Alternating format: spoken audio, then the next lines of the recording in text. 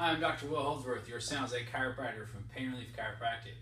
Today's talk is something that you should pay attention to if you have issues with shoulder tightness or discomfort here, or if you're getting like a numbing, numbing and tingling sensation here in your elbow uh, from working at your desk at your computer.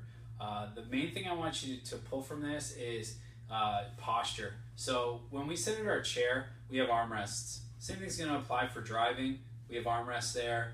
Uh, public transportation, I'm going to leave that out because you can't really affect the armrests too much in public transport, movie theaters, uh, stuff like that.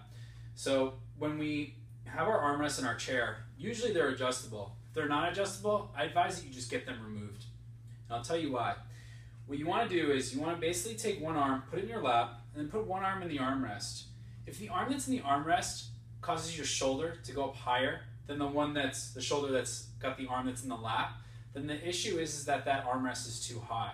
So you want to lower that down so that your shoulder is going to be even whether your arm is in the armrest or your arm is in the lap. When you do that, this posture all day can cause tightness into this area. The other thing that happens is, is it gets in the way of using your full arm when you're working with your mouse or your keyboard.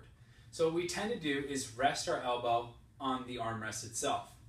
Anything that rests will tend to pivot when you're working. So if you rest your elbow while you work, you're pivoting back and forth in the elbow. You got muscles, nerves, and tendons in here that you're grinding into. So take those armrests and move them out of the way.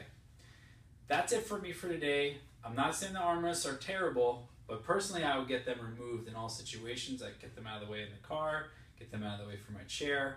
Um, but what you could do is, if you are attached to your armrest, lower them down and do that test that I told you about a second ago with the arm in the lap and the other arm in the armrest.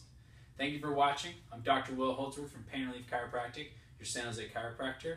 Have a good rest of your day.